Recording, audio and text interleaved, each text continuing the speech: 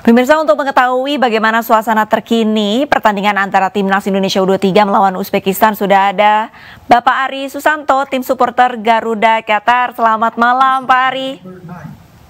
Selamat malam Mbak Arista.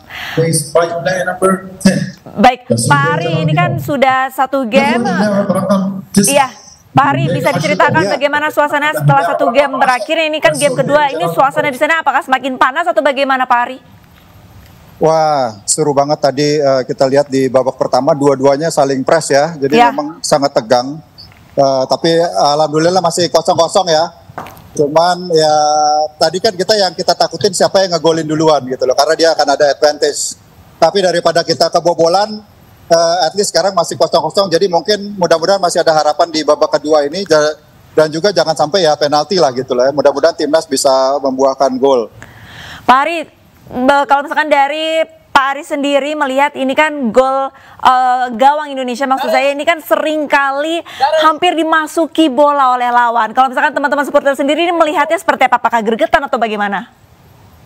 Iya, kita uh, cemas ya karena kan uh, di ABK ini uh, agak berbeda, Mbak. Karena uh, lapangannya itu kan tidak ada track running di pinggirnya. Jadi posisi kita tuh sangat dekat ke pitch gitu loh sehingga merasa lebih emosional. Beda mungkin di GBK itu kan ada track running yang yang berjarak gitu loh, jadi agak jauh penonton uh, dengan uh, pitch gitu loh ya kan. Tapi di sini sangat dekat, jadi kalau bola keluar aja udah langsung kena penonton gitu loh. Jadi kita terasa sekali emosinya di sini uh, setiap uh, timnas uh, menyerang atau timnas diserang.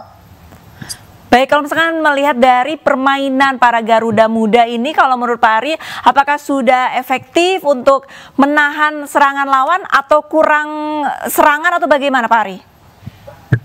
Uh, so far ya kelihatan juga ya Uzbeknya dominan, tapi memang uh, timnas mungkin ya mudah-mudahan di babak kedua ini mereka bisa lebih bermain lepas, mengambil risiko, uh, tapi juga ya harus hati-hati karena Uzbeknya cukup agresif ya mereka.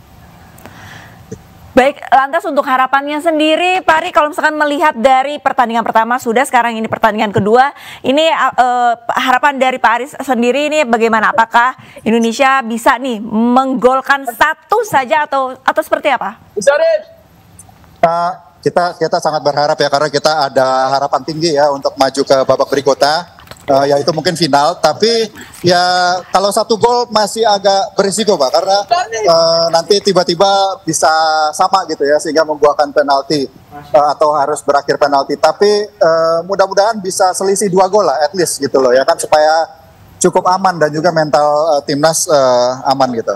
Baik, Pak Ari boleh dibalik nggak Pak kameranya? Kami ingin melihat suasana di sana seperti apa.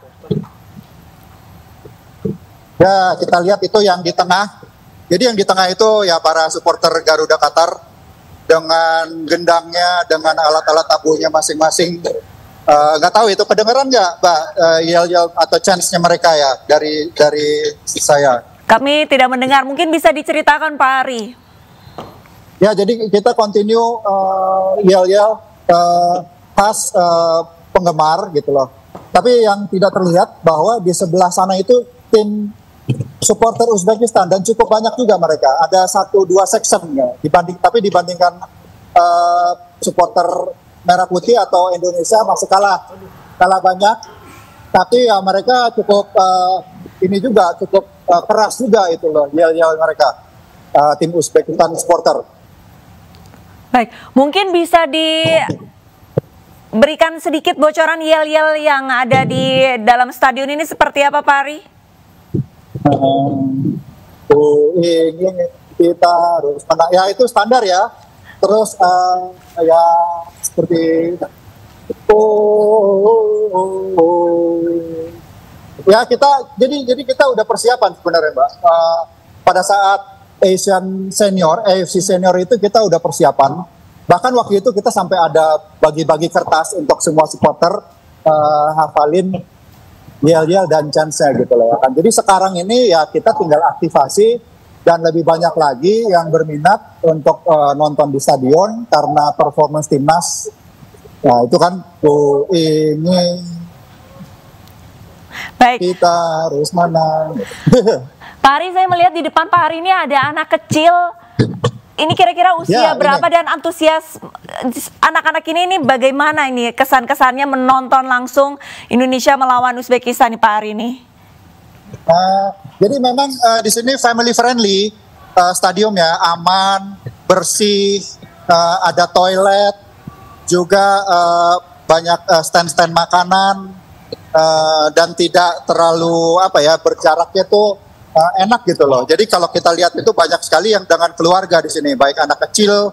Uh, kadang saya juga lihat ada yang bawa balita gitu loh. Jadi uh, alhamdulillah experience-nya uh, sangat bagus ya kan. Jadi bukan hanya nonton bola tapi hiburan juga buat keluarga dan juga buat uh, anak-anak kecil experience dan banyak juga mereka yang mengidolakan uh, anggota-anggota timnas.